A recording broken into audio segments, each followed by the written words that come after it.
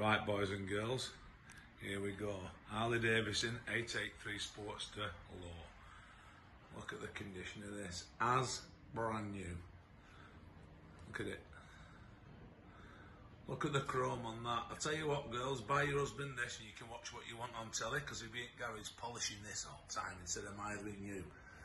This is what you call an investment. You can watch Cora Street then. Look at it.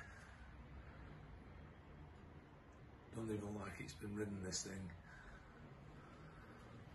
She's a beauty.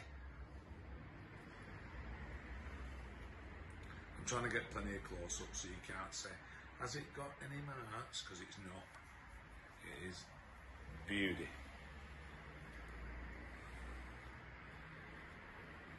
Nice low mileage. Service history, even though only had a couple because it's it's not done the miles. At it. An absolute peach of a bike. It's beautiful. And as you know, Sportster's never getting harder to get because they've stopped bringing them in.